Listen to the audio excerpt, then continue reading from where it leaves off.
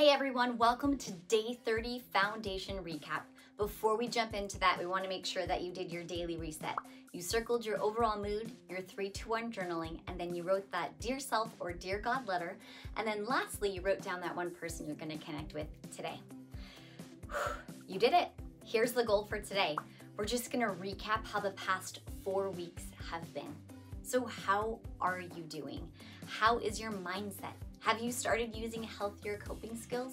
Can you notice yourself shifting into healthier habits? How has journaling been? Is it a complete habit now? Look back at your numbers you circled. We still want you to see where you are and where you've been emotionally.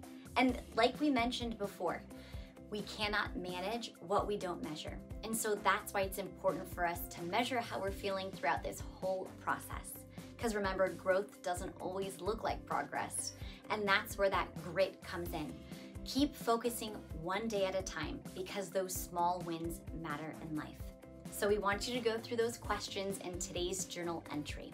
We want to make sure that you fill out that heart inventory and then you compare all of the scores that you've done from week one until now. We are seriously so proud of you. This takes a lot of hard work and we still want to know how you're doing. So make sure that if you have any questions or concerns or want to share a funny story, reach out and DM us on Instagram at the Reset.